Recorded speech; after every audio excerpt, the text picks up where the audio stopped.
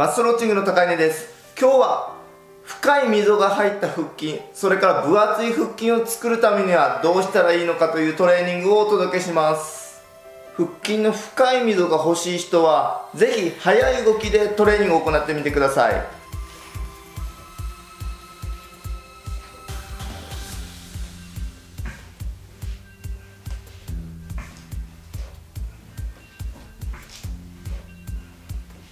そして横から見た時のこの分厚い腹筋これはダンベルを使って行っていきましょう。